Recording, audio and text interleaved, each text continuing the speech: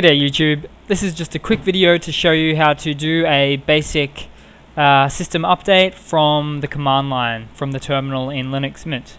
Now open up a terminal then, Control Alt T or find it in your applications menu and type in sudo apt-get install, sorry, sudo apt-get update uh, semicolon sudo apt-get upgrade hit enter, throw in your password, hit enter again, and then it load. Let it load like a pro, like a boss.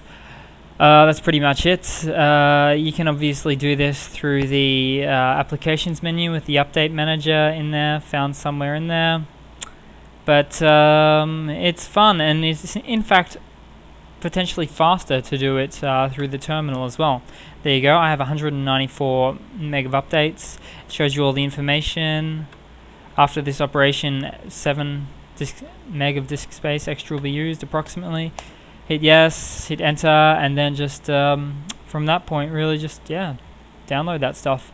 Um, yeah, uh, nothing more to say. Just uh, some people uh, just getting new to Linux. I thought I'd do this video. So cheers, guys.